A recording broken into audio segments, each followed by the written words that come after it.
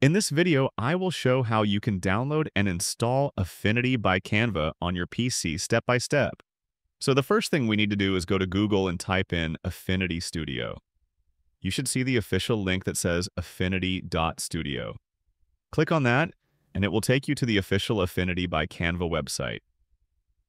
This is the new Affinity software after Canva acquired it, which means it's now available for free, which is amazing for designers, photo editors, and illustrators. Once you're on the homepage, look at the top right corner and click on the green button that says Get Affinity. It will open a new page where you need to sign up or sign in.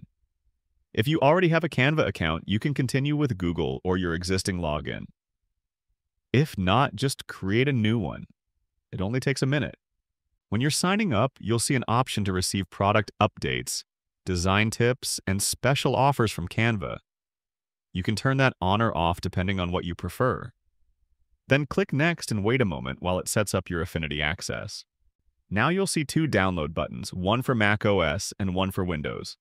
Since I'm on Windows, I'm going to click the Windows download.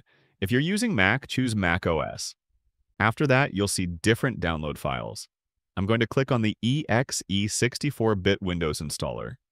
Once you click it, you'll see it start downloading in your browser. The file size is around 600 megabytes, so depending on your internet speed, it might take a couple of minutes. When your download finishes, open your Downloads folder and find the Affinity setup file. Double-click it to start the installation. Now the installer will ask you where to install the program.